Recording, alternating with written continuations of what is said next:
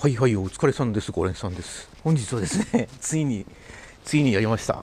えっ、と、SP タダオのパワーボックス SV6 汎用をメルメルカリで 買いました。6万円ぐらいだったかな。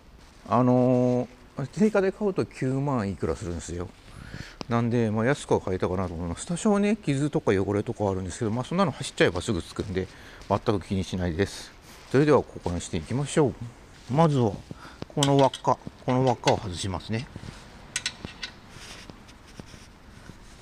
続いて、えー、というか緩めますね。ですね。緩めます。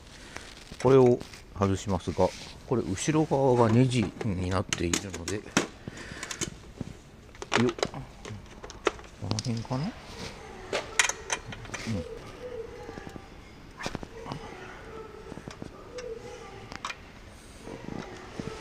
はい外れました。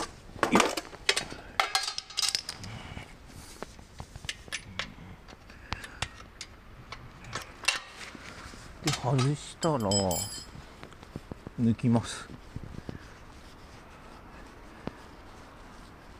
よよよ少しずつ少しずつ。でこれなんですけど 実はね 昨日一回外した昨日じゃないか一昨日か。一回外したんですけどここねガスケットが入ってるんですよ。見えるかな？でガスケットがこれ固着してて取れないんでで あの交換を諦めたんですよ。でこいつもなんか外しづらそうだったんでついでに純正パーツとして頼んじゃいました。それがこれらですね。まずはガスケットをここにはめ込んでであれ？これどうやって通すの？ここ溶接されてるじゃん。ここここ。溶接されてる。これ通らなくない？これ使わないのかな？ちょっと動画で確認してみよう。はい。えっと今動画見ました。あのねこれこれいらないんだ。これ使わねえんだこれ。これ使わなくてそのまま刺していいんだって。でも刺しましょう。よいしょ。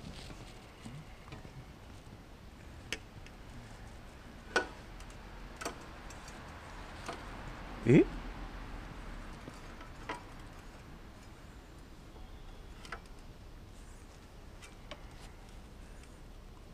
ああなるほど。こうこうやって。差し込むのね。はい一応つきましたね。よいしょと。パーツクリーナーで拭き拭きしましょう。ふきふきふきふきふきふき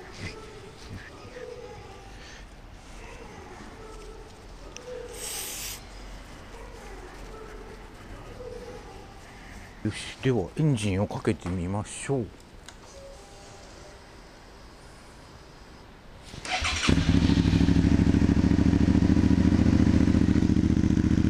こんな音です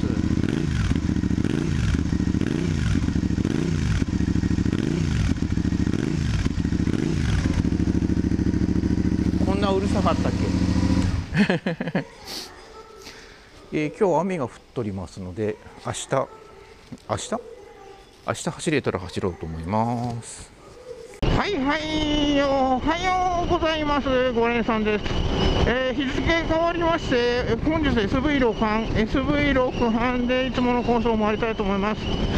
昨日ですね、えー、マフラーをノーマルから SP タダオのパワーボックスパイプに変えております。今100キロぐらいで走っておりますが特に問題はないです。あのー、アイドリングっていうかあの止まってる時マフラーの後ろ側で聞くとノーマルと比べてだいぶ大きくなったなっていうふうに思ったんですけどうーんでもうやって高速道路を走っているとそれほど大きくなったなとは感じないですねはいただいまの気温は8度ぐらいですねえーと、今日最高気温18度まで上がるっていう風に言ってたんで、だから装備も春物にしてきたんですけど、ちょっと寒いっすね。電熱グローブも入れちゃうか。あ今日の電熱グローブは以前から使ってるやつです。あのー、新しく買った RS タイチの e ヒートは、あの結構暑いんですよね、だから18度までいっちゃうと、もう暑くてはめてられないし、汗ばんじゃって、脱着がしづらくなるので、と思って、この 以前から使ってる、これ脱着しやすいんですよ、この山城のやつ、まあ、脱着がしやすいんで、こっちにしてきました。お電熱グローブ入れたらちょっとあったかくなってきました。一番低いんですけどね。そうこの山城の電熱グローブはあのー、底はかとなく暖かくなるんですよ。でも e ヒートの方は入れるとうわあったけーって感じになりますね。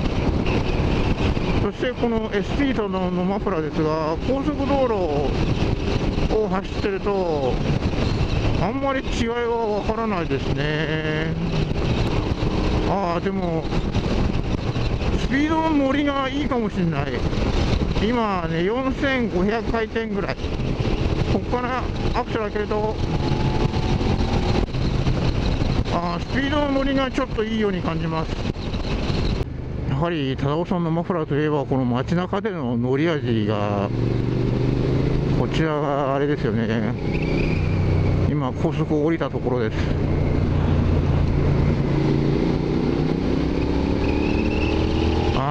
これ力強くなってんな。6速3500ああ力が増してますね。忠夫さんのマフラーって膨張質が飛び出してるんですよ。写真貼っときますね。はいこちら。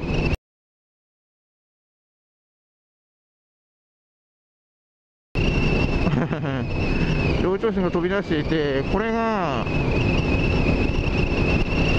えーと、サブパイプなんですけど、これをつけるとどうなるのかっていうと、えーと、マフラーを長くしたのと同じ効果が得られるんですね。でマフラーを長くするとどうなるのかっていうと、あのー トルクが増すんですよ。で、忠夫さんの真骨頂はここからで、トルク増し、あのトルクを回すと今度高回転がうまく回らなくなるんですよ。高回転もより気持ちよく回すために、えーと、マフラーのその他のいろいろなセッティングをしてですねで膨張室でトルクも増してですね。トルクは中中低速回転のトルクは増すわ高回転もきれいに回るわで非常にいい感じですね。もうね私忠夫さん以外のマフラーは考えられないですね。アイドリングの時の音がうるさいんだよな。うるさいっていうかなんていうか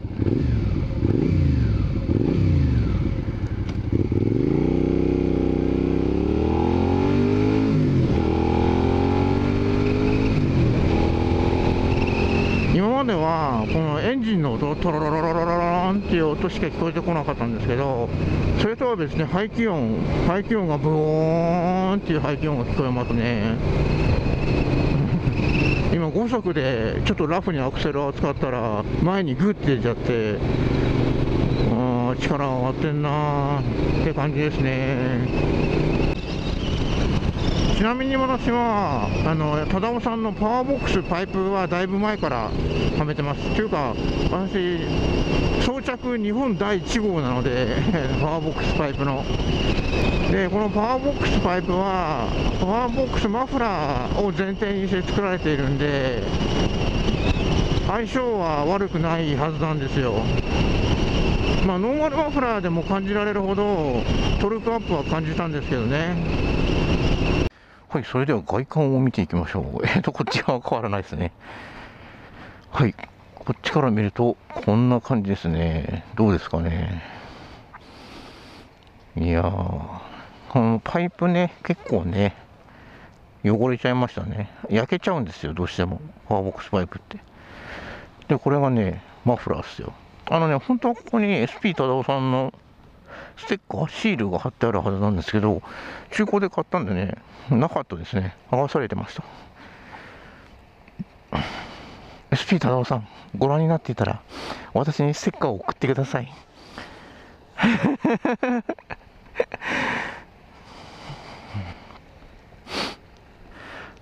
こんな感じですよね後ろから見るとこんな感じ私ねノーマルマフラー大好きだったんですよ。あの武骨な形が。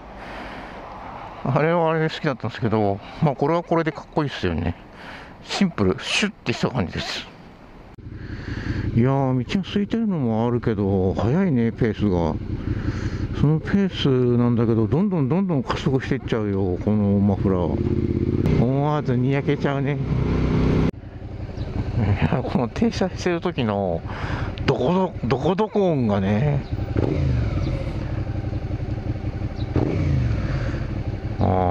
ああたまんねえっすなこりゃ。こういう狭い道を低回転で走るとこう音が反響してくるからいやたまんねえっすね。たまんねえっすわ。こう裏道5速50キロで走ってますけどこの時のアクセルを開けた時もやはりね、ちょっとトルクがね、若干太くなっているような気がしますね。さっきも気づいたら6速の38キロで走ってたんですよ。あれ？と思って。3、4、5、6、6速28キロ。あ、これは無理、これは無理、これは無理。うん、やっぱりこう本格的に加速しながら登ろうと思ったら、50キロ以上は必要なんですけど、クルージングするのであれば、今、6速36キロ、6速37キロでも、まあ、クルージングできなくはない、まあ、エンジンに悪そうなんで5速まで落としますけど、こう全てにおいてちょいちょいトルクが乗ってる感じですね。ただね、これね、さっきもちょっと言いましたけど、値段、私6万で買ったんですよ、メルカリで。で、えー、っと、定価で買うと9万いくらするんですよね。でメルカリで8万3000円ぐらいで出してる人がいてずっと売れの売れ残ってるんですけどだってヤフーショッピングとかで買えば8万6000円とかで買えちゃうから中古を8万3000円で買う意味がないんですよねなのでなんだかなって感じですね、ずっと売れ残ってんなと思ってたんだけどそこに6万の中古がパッと来てまあ多少汚れありですけどあこれはええわいと思ってつい手を出してしまいましたね。はい。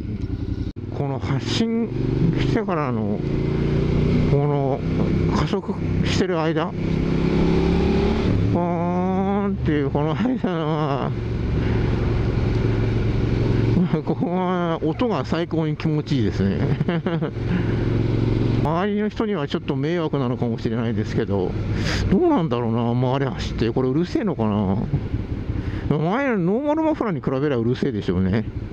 一応、あのー、国の審査が通っているマフラーだから JM、JMCIA でしたっけ？なんかそんなようなやつ。取ってるやつだからデシベルはクリアしてるはずなんですよね。このままでも車検通るよっていうやつで。だからね9万9万はちょっと 厳しい。あのパイプが2万円ですごいあのトルク上がるんですよ。それに比べると9万はちょっと厳しいな、6万でもちょっと厳しいぐらい、すいませんね、ケチで。でもまあ、前々から欲しかったから、6万、ずっとね、メルカリはウォッチしてたんですよ。でようやく6万で出たんで、これはもう買うしかねえかと思って、飛びついちゃいましたね。で、マフラーがね、ノーマルより軽くなってるはずなんで、振ってみましょう。ほい、ほい、ほい、ほい、ほい、ほい、ほい。わかんないですね。でもなんかちょっと軽くなったような気もしますね。加速しますよ。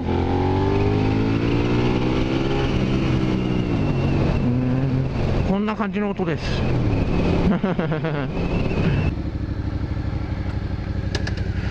はいやっぱねエンジン音もう一回聞いてみましょうか。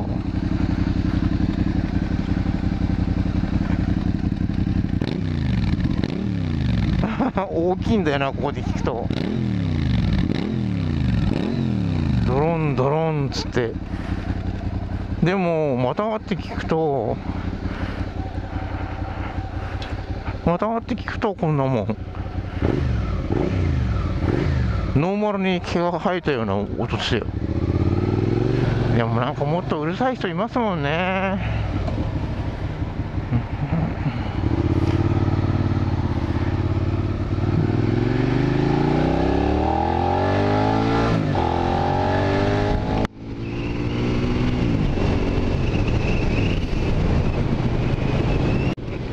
6速60キロぐらいで走ってる分にはすごく静かですね。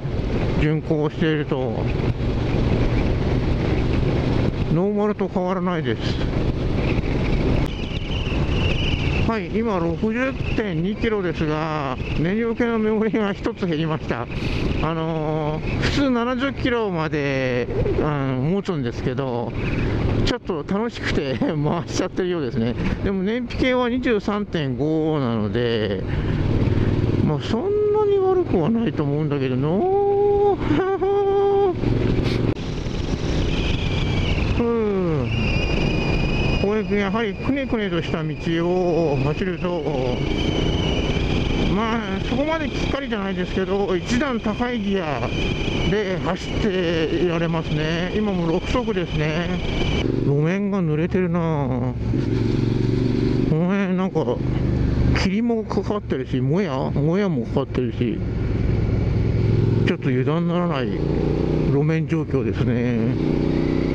9時10分ですね。今日あいつもより早い時間に出てきたんで。だからもう ガスってますね。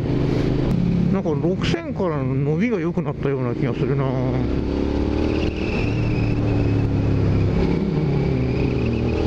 普段そんなとこまで使わないからな。はい左コーナー回ってここから R がきつくなるのでさらに倒し込んで回る。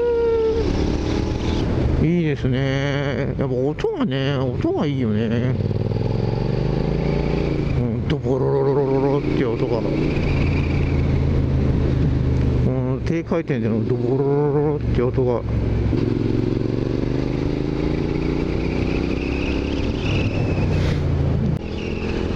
そういうのをこうまたがってバオンバオンってやった時振動がちょっと増えてるっぽいですね。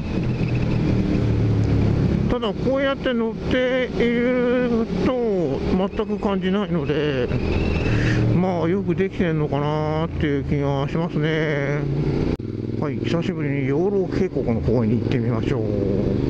ここが曲がり込んでいるコーナーですよ。リアブレーキを引っ掛けながらアクセルを開けて開けて開けて開けて開けて開けて。クセルがね アクセル回路回路が 今までと同じぐらい開けると 飛び出してっちゃう。今までよりも少ない回路で回れるっていうか私の限界が訪れる。やっぱ5000 5000からの月が良くなってるなこれ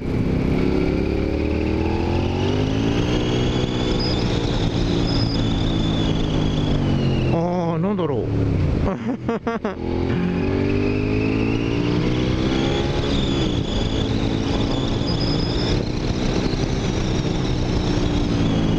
回転高回転が良くなってる。5000から1万回転までよどみなく回る。今までノーマルマフラーの時はこのただめマフラーに比べるとちょっと苦しげに回ってたんですよね。それがただめマフラーにしたら5000以上は苦しげっていうか振動が多くなるんですよね。あ振動を気にせず1万回転までぶん回せますね。燃費が悪くなりますね。うん。なんかこう、えっ、ー、と、ノーマルマフラーの時は、あの、あんまり回すと、あんまり心地よくなかったんですよね なので、あんまり回さずに、まあ、6000ぐらいまでで3速、4速で走ってたんですけど、で今日これ、試しに2速で8000、1万とか回してみたんですけど、結構気持ちいいですね。4、3、2、1、ゴー。ダダンダダンダダンダダダダンダダンダダンダダンあれ？今取り回ししてるんですけどなんかちょっと軽く感じる。ほんまかいな、V ストに比べて軽く感じるだけかな。いや、なんか SV 単体で見ても軽く感じるようなそんな気もするな。やっぱりマフラーが、やっぱり軽くなった分軽くなったのかな。でもそんな軽くなったかな。重量とか測ってきゃよかったですね。いやしかしこのエンジンをかけた直後のこの音。ああ、いいねいやいいわ。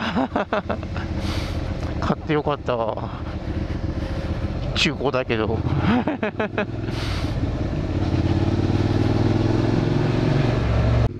菜の花がドカンドカン咲いてますね。菜の花越しに映るいすみ鉄道が。なかなか美しい。はい96.7キロですが燃料系のメモリの2つ目が減ってますね。そりゃね、1万回転まで回して、あ、これは楽しいですね、なんて言ってたね。それ、それは燃費も悪くなりますよ。平均燃費計は23.4キロですね。うん。これ楽しくなっちゃう分、燃費は悪くなっちゃうかもしれないな。自制心がないと。これですけど、1万回転まで、1万回転からレッドゾーンなんですけど、1万1000回転まで回りますね。一速で回してみましょうか。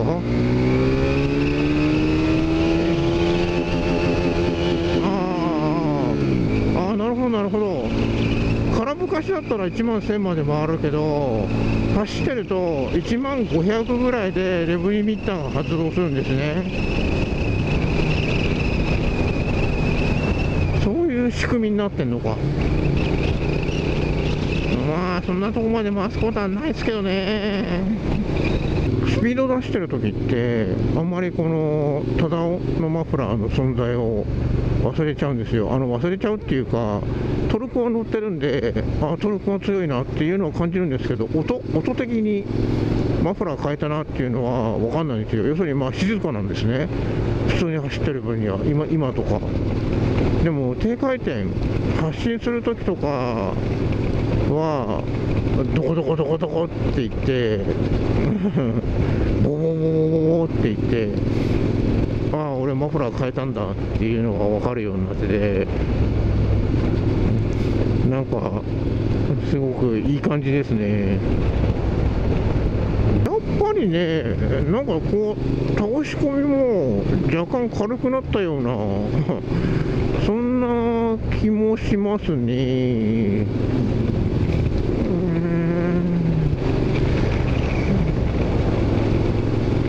どうなんだろう。ああ、やっぱり軽くなってんな、これ。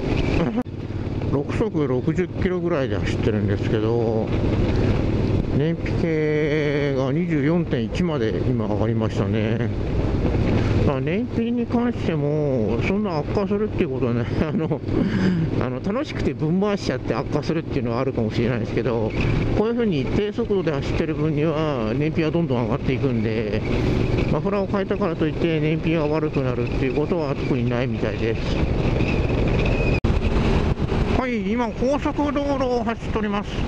えーと時速107キロ出したんですけど特に問題はないですね。でやはりね高回転の伸びもなかなかいいですよ、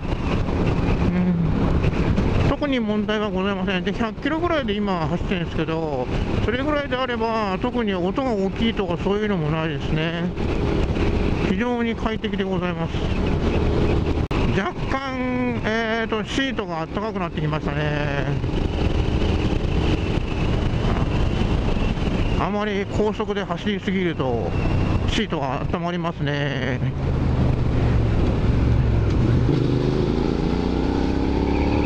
シートヒーターが効いてきたっていうそういう感じですね